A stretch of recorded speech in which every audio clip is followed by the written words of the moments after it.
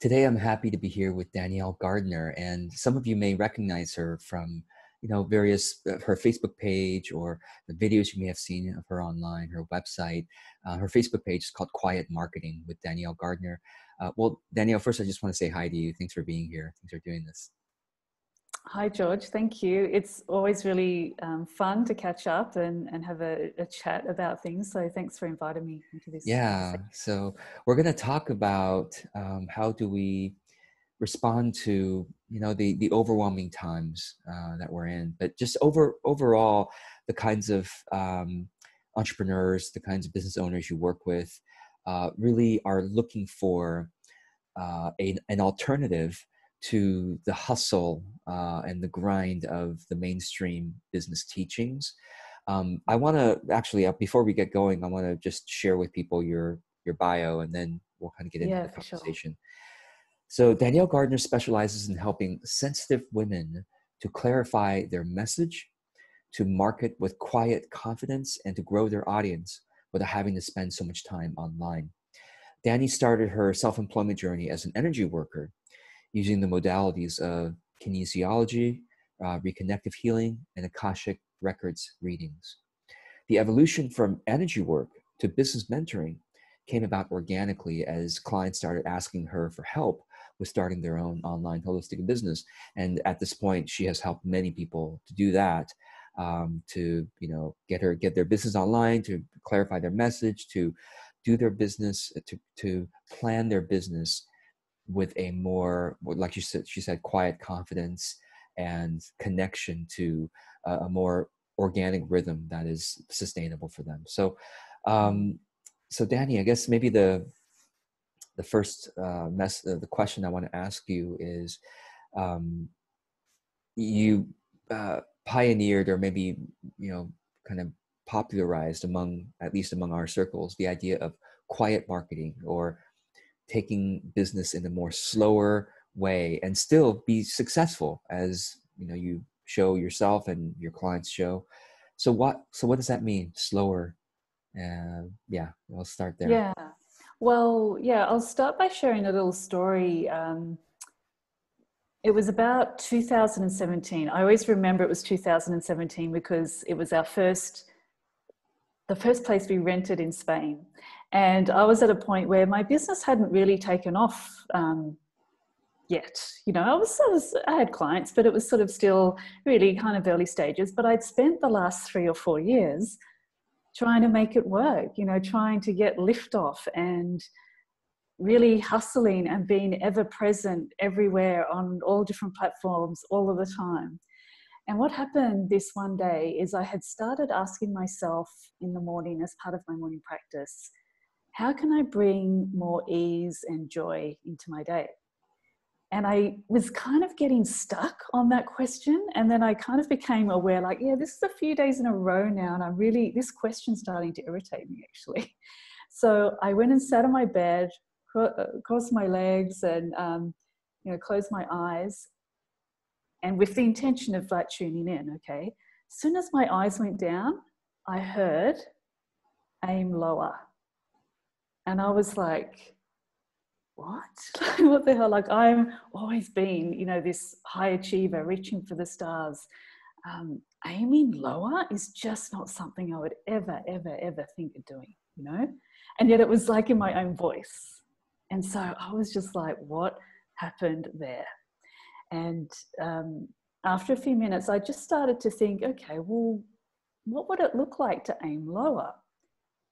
And as I started to consider that, so interesting. These it was like a a pool of joy, a joyful feeling just started to rise up from my base and like fl- flood into my stomach basically. And I was like, oh my goodness, like what is going on here?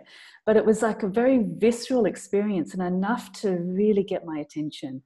And I thought, okay, for those kind of two things to happen to hear that those two words and to have this feeling viscerally there must be something you know i need to pay attention to so i i started to experiment with aiming lower and i think really the first thing i did is i let go of income goals i was you know, I kept having this like income goal, and at the end of the month, I didn't get it, I didn't get it, I didn't get it. I decided to let that go, and that was pure joy, and just focus on um, building community. And so, what happened is over time, like this is when my business actually took off by slowing down. And what I realized is, or kind of aiming lower, but I, it was like there was an evolution to those two words. I realized that it was not, it was not absolutely aiming lower. I mean, it was for someone like me because I was always aiming for the stars, expecting things to happen quickly. But it was the pace at which I expected things to happen that was the issue. And so, and then when I started to look around, I thought that's most people's issue, right? It's the pace. It's not that we can't have big goals or whatever, it's the pace. So then this whole idea of aiming slower arose, you know, and I really believe that by slowing down, by being very mindful, by doing things properly, we actually make more progress. Yeah, yeah, that's a great story. Thank you for sharing the, the mm. origin story of that. Um, it, yeah, and if I could just add my own kind of example yeah. of this, um, ironically, it was about my joyful productivity course um, when I was the last time I launched it, um, I was in the beginning, the first couple days of sales, I was discouraged because they weren't keeping pace with what I had set as a goal, and I was, you know, like you know, I was like I was getting discouraged, and then I, I also, it's funny, I also kind of had this thought, and like, well, you know, why don't we just let that go and, and go for a really minimal number, you know, just really, really super doable. Then, and then I'm like, okay, yeah, I'll go for that super. Do-. Then it's so easy. Then I'm pretty much already there, you know. Yeah. And and then I got happier about it, and then I just continued. You know, I continued my my launch process, maybe from a better energy or whatever. And yeah. what was funny was that it surpassed even the original goal. Now, I'm not saying that that's what it should happen, but it was just such a funny example maybe in your universe showing me that you know what? It's okay. There's this dynamic that uh, yeah. you know like you're saying if we if we if we bring more joy into what we're doing um, whatever the results are um, we have joy. You know it's like great. But also we tend to be there, there tends to be a genius there you know within the joy and within the working at our pace. So i want to i want you to talk about this a bit more um, to work at our pace. And for the people who are saying well could i you know working at my pace i might be not doing as much uh, as other people. Is it possible to be doing things slower doing things less and still accomplish you know uh, More. having a good business?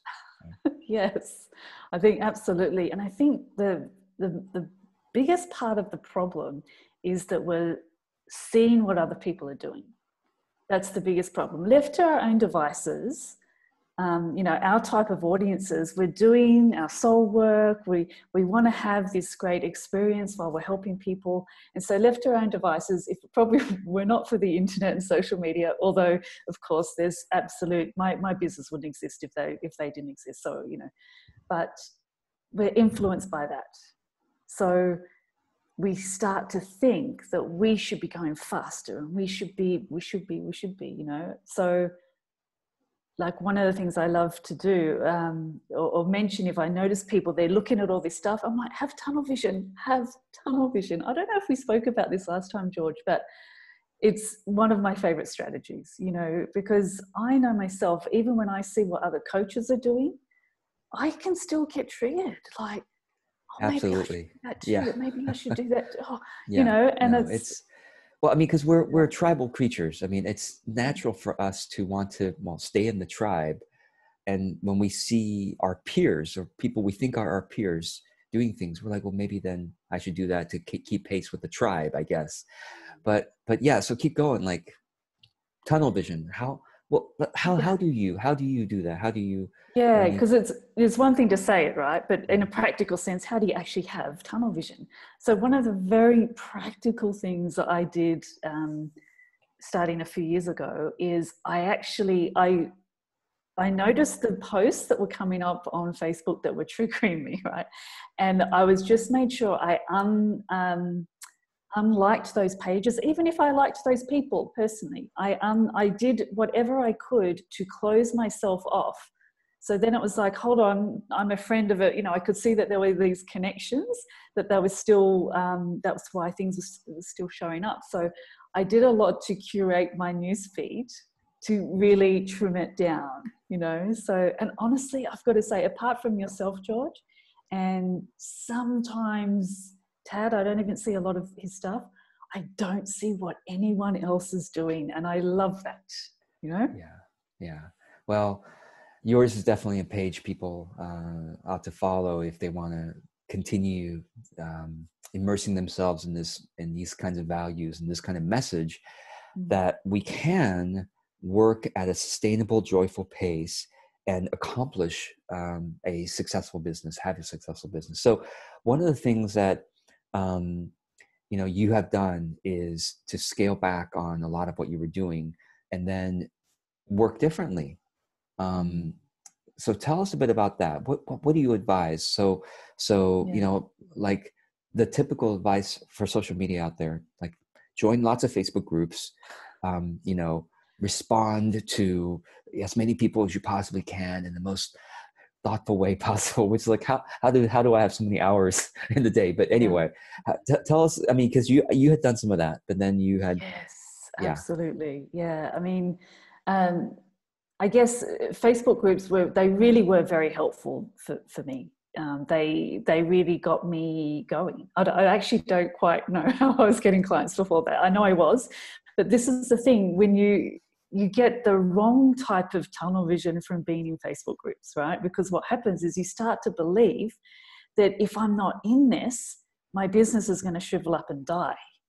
And that's what was happening to me. So yeah, I had been advised, yeah, you know, join these groups. And I was like, I when I got introduced to that world, I thought, how interesting. And you know, I, I did the thing. I joined the groups and I had a little spreadsheet and, you know, I worked out all the all the stuff. And it, it probably was enjoyable for a time but then i really i guess you know just getting more and more in tune with my body and my sensitivities and what it was telling me like i i knew those moments when i was like gosh i've got to go into the facebook group and i've got to find something to comment on and it felt terrible you know and i'm like dani what are you doing here? But then the you know my belief was but if i don't stay here I'm going to drop through the internet. I'm, you know, I'm not going to exist. You know.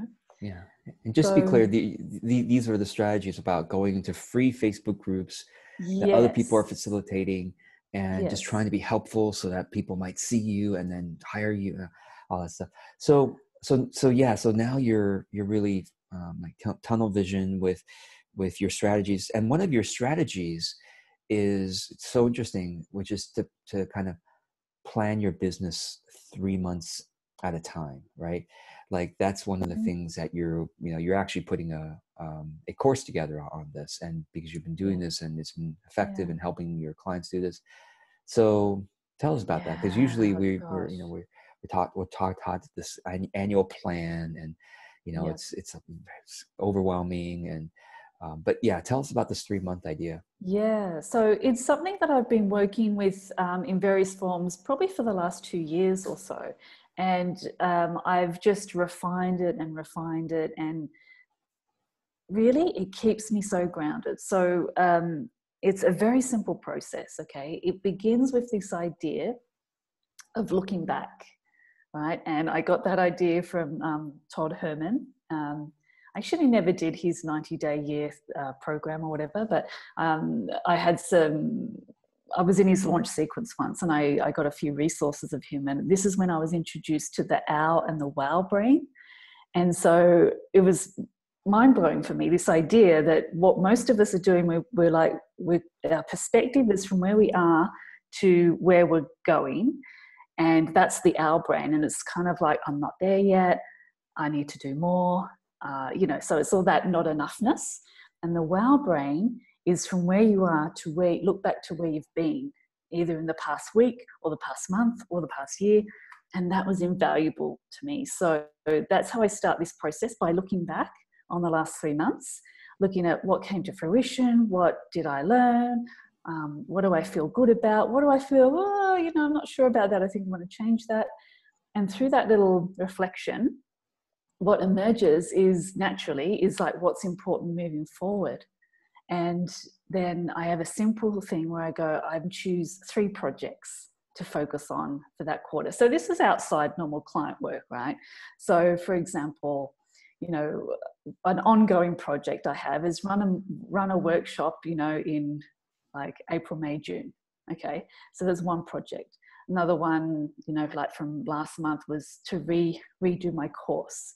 That would that top probably took you know the most part, but it's just three projects, and then um, yeah. So three I, three projects for each month or for the three months?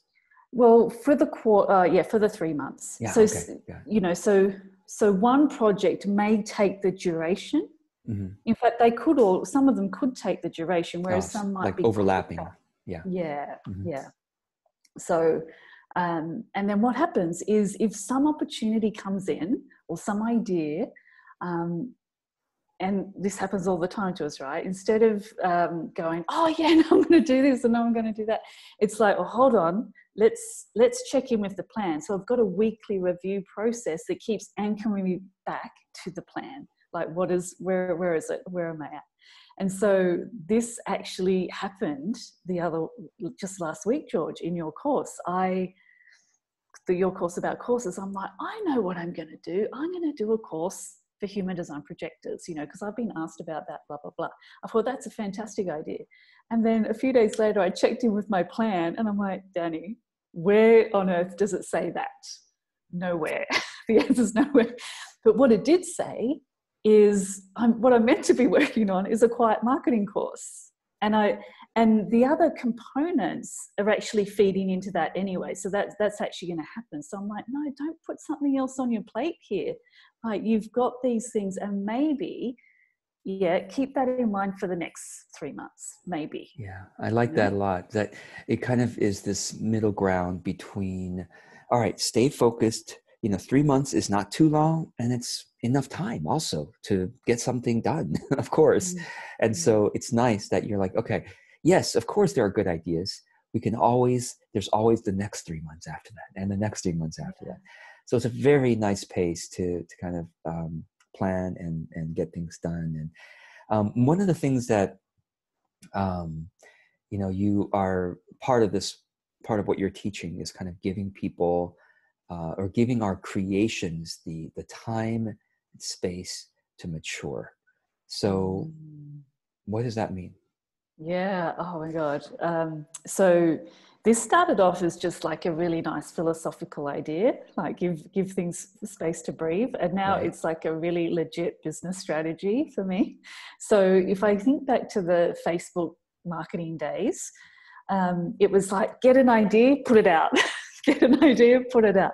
Because in these group the groups there was always an offer day right? So you could promote something right? So it was always like it was just like flick flick flick flick flick. And okay you know, there, there can be some value in that in just experimenting and things like that. But what I found is as I um, kind of held on to things a little bit more and not have this energy of, it's basically that fear of missing out energy. Like, well, if I don't post it today and it's off the day, then it's going to be a whole week before anyone, you know, sees something from me, that kind of thing. Um, but I found that as I held on to the idea a bit more, um, it just developed into a, such a better idea. So if I I started to notice like, man, if I had have put it out already, I hadn't even considered all these other things that maybe I don't really want to happen. And this version is way better. So yeah, now I I really enjoy allowing things to percolate. And um, even with, uh, you know, I had a, I had a little mentorship start um, recently, and I remember there were just aspects of that that hadn't seemed to kind of land. And I just take it with curiosity now. I'm like, yeah, I wonder about that bit. I wonder, you know, like, and I just trust that the that piece will land soon, sometime soon, you know, yeah, yeah. instead of rushing it through. Mm.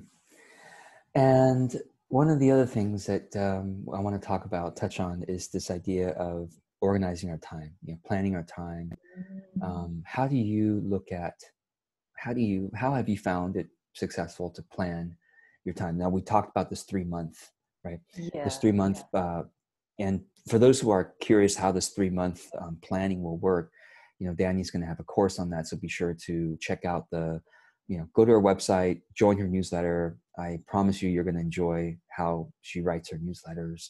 Uh, if you like this kind of energy and this kind of these kinds of values i think you'll enjoy it. So you can hear more about the three month um, planning course coming up but um but uh, and then you have this weekly review. So tell us more about anything else yeah. about how we the, organize. The, yeah. Yeah. So i think how i schedule my week is it's still a work in progress in many ways but it's i'm so happy with where i've got it now. So what i do is well first of all i kind of theme my week. So monday and now tuesday are quiet desk days so these are just like the days where I don't have any, I certainly don't have any clients. Sometimes I might have a personal appointment or something like for my own business development or whatever, um, but no clients. So then uh, there's nowhere I need to be. I can just focus on my projects. And then Wednesday and Thursday are my client days. And then Friday is Dani Day. and uh, various things can happen on that day. I, ch- I generally not work, but sometimes if things have like not quite happened to plan, I might do a few things. Like I do my weekly review on a Friday, that kind of thing. Um, and then, so what I'm doing at the moment is I I have a minimum of three um, co-working sessions that line up with the three projects. So it's like this co-working sessions for that, that, for that. So I know what's going on in that regard. And what's interesting, I was showing, um, I was showing my own group this layout um, last week, and one of the one of the uh, members said, um, "But Dani, what if someone like what if what if a client wants to book in and you've already got these pre you know she didn't know that i had uh, defined client days yet you know and she's like you know what do you do then so she felt anxious about making like recurring appointments because what if a client wants to book in there? And I'm like, look, um, I have predetermined session times for clients, and that's it. You know, so if if they can't fit into that, I, they're they're not my ideal client, really. And if they need to reschedule, then chances are there'll be an opening in one of those predetermined times. You know, and she was like, like that was wow, you know. Now I've got to say, in the beginning, and maybe you were a bit the same, George. I don't know, but I was making myself very available. You know, I was um, available, you know, probably six days a week, and early in the morning, and you know, so I was a bit all over the place. But I just, you know, I think it's really important to to start the way we mean to carry on. You know, so if it doesn't give me joy, to yeah be seeing a client at seven o'clock in the morning, which means I've probably got to get up at five, then yes, no, like yes. I, am not going to, I trust that the right mm. people will come. Yes. You know? Well, you know, that's the thing about having our own business. you know, it's like we get to set the kind of schedule and way of working that is sort of our ideal life. And yes, um, we need to be reasonable about it but there is a lot of space there to be reasonable about it and be sustainable. And so mm-hmm. i like that you say hey you know what? Th- wednesday thursday hey that's two days. It's, people can usually schedule something then if they really can't. Hey there's plenty of other providers that you introduce yeah. them to. It's like you don't have to take everybody and be accommodate everyone right so thank you for that um, so as we close off this conversation anything else any other words of encouragement um, you know, for us, the, those, especially those who, you know, since you work with sensitive women and, mm. you know, especially now as we're recording this during, you know, the coronavirus times, um, yeah. which is going to go on for another months, you know, few yeah. months at least. What's your any other you know words of well, uh, probably what comes to mind is just I was reflecting on something a client had said um, the uh, the other day, and like she's she's finding her groove with things because she's not looking at how it should be done right uh-huh. this, yeah. this seems obvious in a way but it's not i think most people have difficulty with marketing mm. because mm. they're looking at what should be done you know they're looking at the rules and they're not really connecting with what feels true and right and what would be a genuine expression of them you know? They're, someone's told them you need to do that and they're like and i did this too. Okay i've got to do that then you know to be successful. But i don't know i think that's probably my parting word. It's like how you can you really be? Like what if you could just be really you in the way you present your business and what would that look like you know? I love that. And yeah for yeah. most people it brings a smile to their face you know? Totally totally oh, yeah like you really said like if we aren't giving ourselves that kind of pressure to follow other people's strategies if it doesn't feel true to us um, if we allow ourselves to to do like you said what is most you then that's where the genius like each mm-hmm. person's genius comes in. It's like yes. Thank you mm-hmm. so much for the work that you do and the kinds of energy that you bring to your community and to the world. So i hope um, you know those watching have found this valuable and please do and connect with dani in the links below the video or above wherever wherever it is. Um, facebook page you're active there. Uh, your website obviously you have a newsletter. Um, so and i think you're on instagram too and so anyway yeah. we'll we'll put the links that you choose to be active in and uh, sure. uh, people can follow yeah. you there. Great thank, you so, thank you so much george. It's been great having a chat. Thank you. Yeah thanks